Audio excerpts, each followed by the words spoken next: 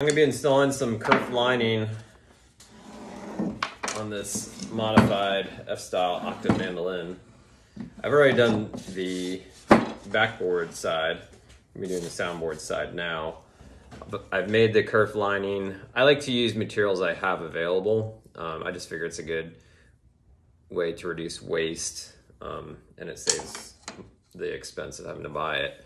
And then I, I also like the fact that you can make kerf lining that kind of matches the flow and the energy of the build that you're working on. So to me, the Sitka spruce, it's the right type of material for the kerf lining, and I think it really complements the color tones of this Claro walnut. So that's why I chose this.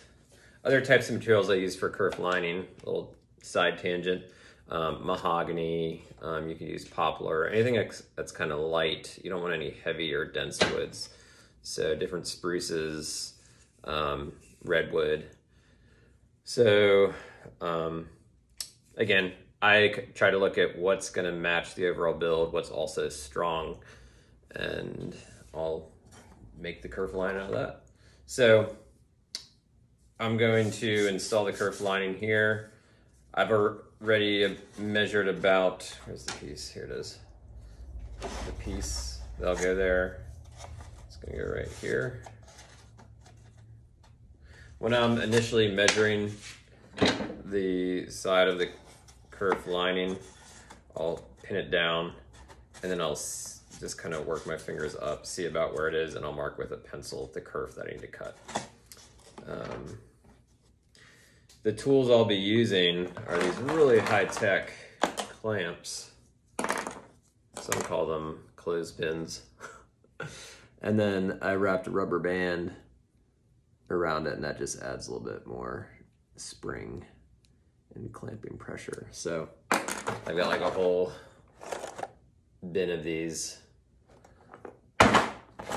These are about 11 years old. I think I made these in 2009. So you get your money's worth for these for these guys. Um, all right, so I'm just gonna apply some glue. Kind of run it down the, the middle there. And then again, I use really fancy glue spreading device. And Wipe the extra on the workbench.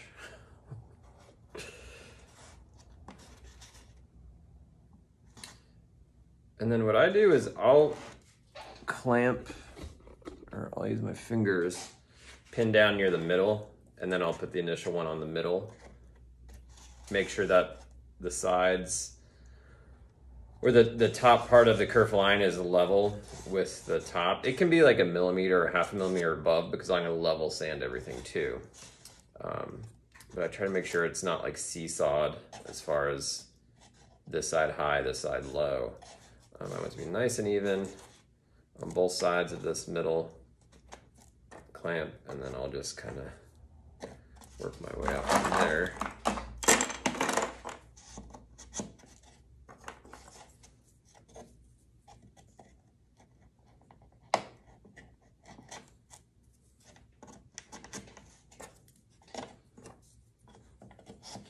I need to get some more rubber bands.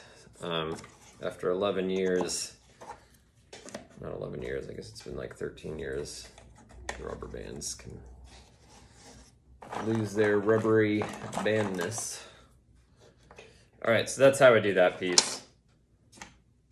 One thing you wanna be aware of is any glue squeeze out. So um, I will, let's so you can see there's glue squeeze out for sure. So I'm gonna let that dry for like two or three minutes.